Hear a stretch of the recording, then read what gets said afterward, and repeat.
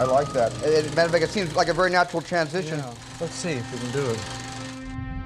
Music is the one thing that we all understand that we don't understand.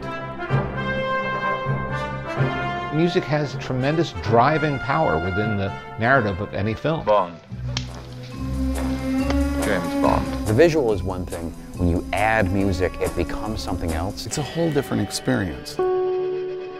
The score is the heartbeat of the film. So much of it is felt. It's all about intuition. You realize this power we wield. You can make you feel anything we want you to feel.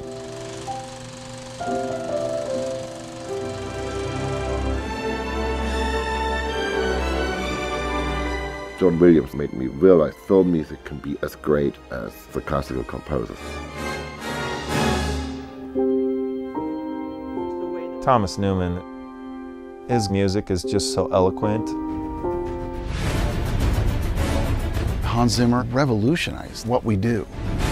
We have to go shake it up. We have to go and reinvent. For months and months, it really feels like you're going to fail. Proving yourself is a great force.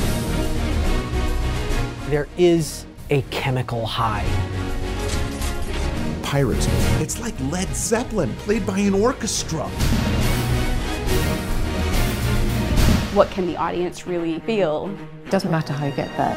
It's whether it's got substance. Standing on the podium and hearing it for the first time.